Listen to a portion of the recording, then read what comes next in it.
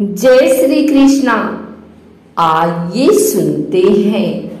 आज रविवार के दिन सूर्य देव की महिमा, पौराणिक कथा के अनुसार भगवान श्री सूर्य समस्त जीव जगत के आत्म स्वरूप हैं।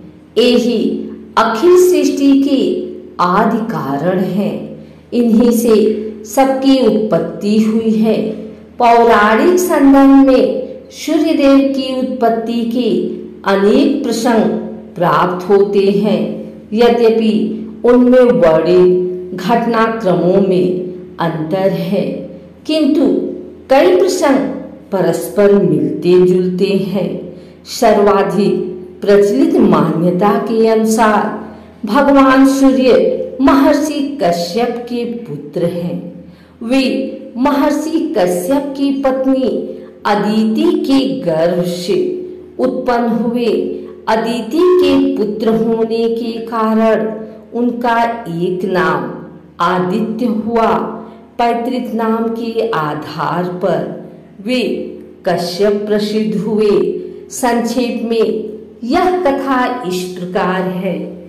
एक बार दैत्य दानवों ने मिलकर देवताओं को पराजित कर दिया। देवता घोर संकट में पड़कर इधर उधर भटकने लगे।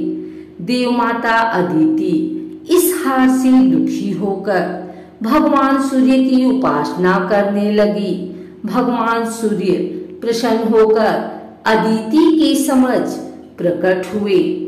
उन्होंने अदिति से कहा, देवी, तुम चिंता का त्याग कर दो। मैं तुम्हारी इच्छा पूर्ण करूँगा। तथा अपने हजारहवें अंश से तुम्हारे उदर से प्रकट होकर तेरे पुत्रों की रक्षा करूँगा। इतना कहकर भगवान सूर्य अंतर ध्यान हो गए। कुछ समय के उपरांत देवी अदिति गर्भवती हुई। संतान के प्रति मोह और मंगल कामना से अदिति अनेक प्रकार के व्रत उपवास करने लगी। महर्षि कश्यप ने कहा, अदिति, तुम गर्भवती हो। तुम्हें अपने शरीर को सुखी और पुष्ट रखना चाहिए। परंतु यह तुम्हारा कैसा विवेक है कि तुम व्रत उपवास के द्वारा अपने गर्भांड को ही नष्ट करने पर तुली हो? अदिति ने कहा, स्वामी आप चिंता न करें। मेरा गर्भ साक्षात सूर्य शक्ति का प्रसाद है। यह सदा विनाशी है। समय आने पर अदिति के गर्भ से भगवान सूर्य का प्राकट्य हुआ और बाद में वे देवताओं के नायक बने। उन्होंने देव शत्रु असुरों का संहार किया।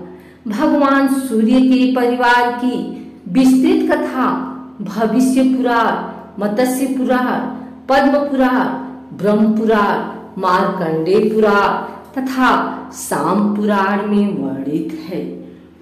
ब्रह्मा, विष्णु, महेश आदि देवगणों का बिना साधना एवं भगवत कृपा के प्रत्यक्ष दर्शन होना संभव नहीं है। शास्त्र के आज्ञा अनुसार केवल भावना के द्वारा ही ध्यान और समाधि में उनका अनुभव हो पाता है। किंतु भगवान सूर्य नित्य सबको प्रत्यक्ष दर्शन देते हैं। इसलिए प्रत्यक्ष देव भगवान सूर्य की नित्य उपासना करनी चाहिए। वैदिक सूत्रों पुराणों तथा आगमादि ग्रंथों में भगवान सूर्य की नित्य आराधना का निर्देश है। मंत्र महोदधि तथा विधारणों में भगवान सूर्य के दो प्रकार के मंत्र मिलते हैं। प्रथम मंत्र, ओम घृणी सूर्यादित्या तथा द्वितीय मंत्र, ओम ह्रीं घृणी सूर्यादित्या श्री ह्रीं महालक्ष्मी प्रियच्छ। भगवान सूर्य के अर्धदान की विशेष महत्व है। प्रतिदिन प्रातः काल रक्त चंदनादि से मंडल बनाकर तथा ताम्र पात्र में जल, लाल चंदन, चावल, रक्त पुष्प और कुशादि रखकर सूर्य मंत्र का जप करते हुए भगवान सूर्य को अर्घ देना चाहिए। सूर्यार्घ का मंत्र, ओम यही सूर्य सहस्त्रांशो तेजुराशे जगतपते अनुकंपय माँ भक्तया गृहारध्य दिवाकर। है। अर्घदान से प्रसन्न होकर भगवान सूर्य, आयु, आरोग्य धन धान्य यश, विद्या, सौभाग्य, मुक्ति सब कुछ प्रदान करते हैं।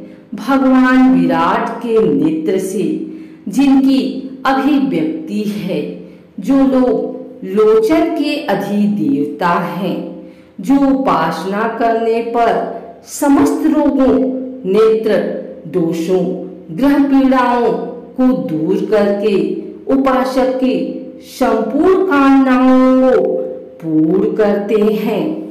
अनादिकाल से भारतीय कर्मनिष्ठ द्विजाति, जिन्हें प्रतिदिन अपनी अधरजली निवेदित करते हैं, जो समस्त चराचर जगत के जीवनदाता और संपूर्ण प्राणियों के आराध्य हैं।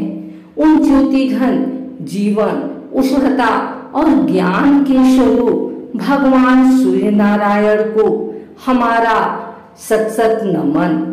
दृश्य सूर्यमंडल उनका एक स्थूल निवास है।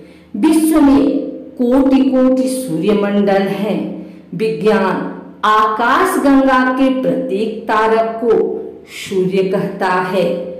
हमारे गगन की आकाश गंगा के पीछे कितने ही निहारिका मंडल हैं। सब आकाश गंगा हैं, सब सूर्यों से जगमगाती हैं। कोई नहीं जानता उनकी संख्या कितनी है। उन सब सूर्यों के अधिष्ठाता भगवान नारायण ही हैं। श्री सूर्य नारायण की कराधना इसी रूप में आराधक करते हैं। महर्षि कश्यप लोक पिता हैं। उनकी पत्नी देव माता अदिति के गर्भ से भगवान विराट के नेत्रों से व्यक्त सूर्यदेव जगत में प्रकट हुए। सूर्यमंडल का दृश्य रूप भौतिक जगत में उनकी दीनी है। विश्वकर्मा की पुत्री संज्ञा से उनका परिणय हुआ। संज्ञा के दो पुत्र और एक कन्या हुई। श्राद्ध देव मनु और यमराज तथा यमुना जी संज्ञा भगवान सूर्य के तेज को सहन नहीं कर पाती थी। उसने अपनी छाया उनके पास छोड़ दी और स्वयं घोड़ी का रूप धारण करके तप करने लगी। उस छाया से सनश्चर सावर्णी मनु और तप्ती नाम की कन्या हुई। भगवान सूर्य ने जब संज्ञा को तब करते देखा तो उन्हें तुष्ट करके अपने यहाँ ले आए। संज्ञा के बड़वा घोड़ी रूप से अश्विनी कुमार हुए। त्रेता में कपिराज सुग्रीव और द्वापर में महारथी कर भगवान सूर्य के अंश से ही उत्पन्न हुए। पक्षीराज गरुड़ के बड़े भाई बिंतानंदन अरुण जी भगवान सूर्य के रथ को हाँकते हैं। रथ में सात उज्जवल घोड़े जुते हैं। अहरनिश यह रथ पूर्ण वेग से चलता रहता है। शौर्य सिद्धांत भी वस्तुतः सूर्य को गतिशील मानता है। भगवान के महान विद्यमान अभी परस्पर इस संबंध में सहमत नहीं है। उनका अन्वेषण चल रहा है। नित्य नए सिद्धांत वहाँ बनते जा रहे हैं। भगवान सूर्य अपने रथ पर आसीन अविश्रांत भाव से मेरू की प्रदक्षिणा करते रहते हैं। उन्हीं के द्वारा दिन रात्रि, मास, ऋतु, अयन, वर्ष आदि का विभाग होता है। वही दिशाओं के भी विभाजक हैं। भगवान सूर्य की उपासना बारह महीनों में बारह नामों से होती है। उस समय उनके पार्षद भी परिवर्तित हो जाते हैं। इन पार्षदों में ऋषि अप्सराएँ, गंधर्व, राक्षस, भल और नाग हैं। ऋषि रथ से आगे चलते हुए भगवान की स्तुति करते हैं, गंधर्व गान करते हैं, अप्सराएँ नाचती हैं। राक्षस रथ को पीछे से ठेलते हैं। भल रथ योजक बनते हैं और नाग रथ को ले चलते हैं। संध्या भगवान आदित्य की ही उपासना है और वह द्विजाति मात्र का एक अनिवार्य कर्तव्य है।